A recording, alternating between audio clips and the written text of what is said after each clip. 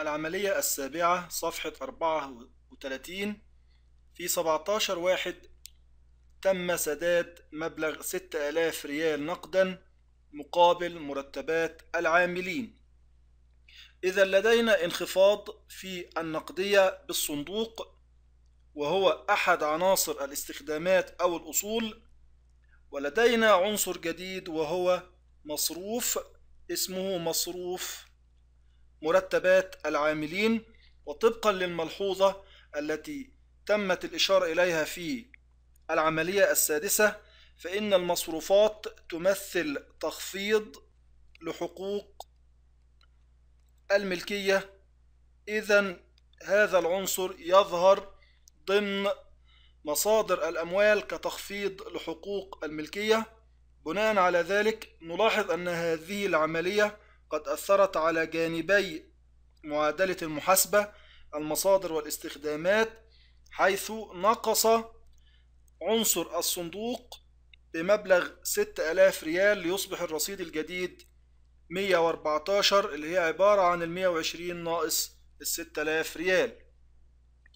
أيضا مصادر الأموال سوف يحدث فيها نفس النقص بمقدار 6000 ويتمثل ذلك في عنصر جديد يسمى بالمصروفات وهي تؤدي إلى تخفيض كما أشرنا حقوق الملكية لأنها عبارة عن تدفق عكسي, عكسي لتدفق الإيرادات.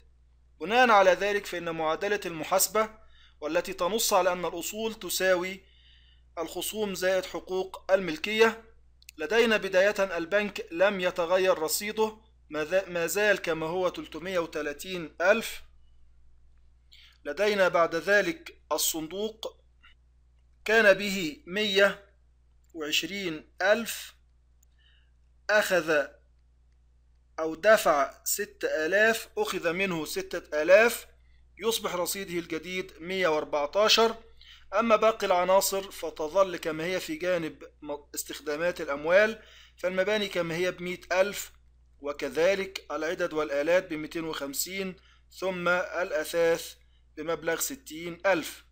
لدينا الدائنون لم. لم يتأثروا بهذه العملية اللي هي شركة شمسان. ما زالت دائنة بمبلغ أربعين ألف. لدينا بقى في حقوق الملكية رأس المال كما هو 800 ألف لم يتأثر. وكانت هناك إيرادات في العملية السابقة بمبلغ 20 ألف ولدينا البند الجديد الناتج عن هذه العملية وهو بند المصروفات ومقداره ستة ألاف. نلاحظ أن هذه العملية قد أثرت على جانب الأصول وكذلك أثرت على جانب الخصوم وحقوق الملكية. كلا الجانبين حدث فيهم نقص عن العملية السابقة فكان مجموع العمليات السابقة مجموع الجانبين في العملية السابقة 860 ألف في كلا الجانبين. حدث انخفاض في كلا الجانبين مقداره ستة آلاف. إذا يصبح المجموع الجديد لكلا الجانبين 854 ألف. وكذلك إذا قمنا بجمع جانب الأصول سنجد أنه 854 ألف. وكلا الجانبين ما زالوا أو كلا أو المجموع كلا الجانبين ما زال متساوي. هذه العملية أثرت على جانبي معادلة المحاسبة. بناء على ذلك تظهر قائمة المركز المالي أو الميزانية على النحو التالي شكل حرف تي نكتب الميزانية في الوسط ثم الأصول في الجانب الأيمن والخصوم وحقوق الملكية في الجانب الأيسر.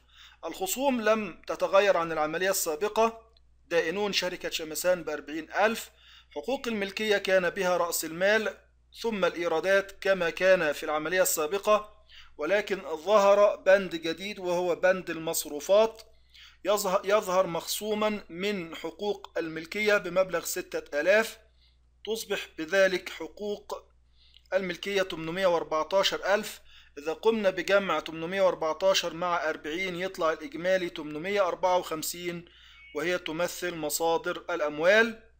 في جانب الأصول لدينا البنك كما هو بينما أن الصندوق كان 120 ناقص الست ألاف التي دفعت كمصروف يصبح رصيده الجديد 114 أما المباني والعدد والآلات والأثاث فلم تتأثر والإجمالي أصبح 854 هو نفسه يساوي مصادر الأموال.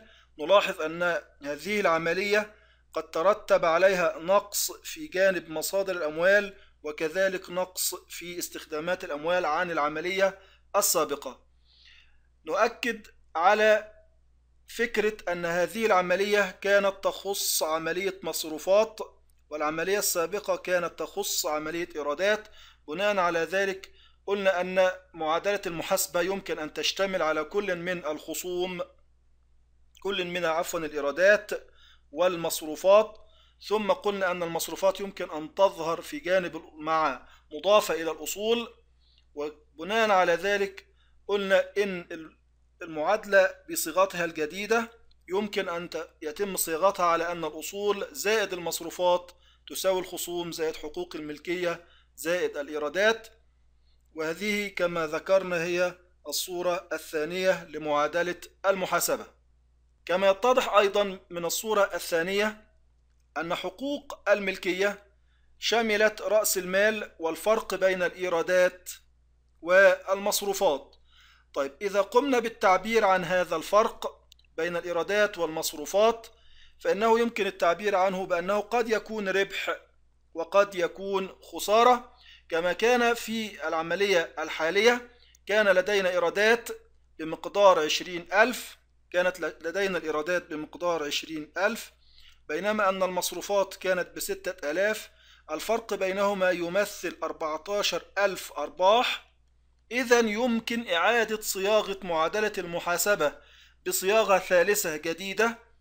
تقول أن الأصول تساوي الخصوم زائد حقوق الملكية مضافا إليها الأرباح أو مخصوما منها الخسائر والتي هي تحسب عن طريق الفرق بين الإيرادات والمصروفات فالأرباح الخسائر هذه تساوي الإيرادات مخصوما منها المصروفات.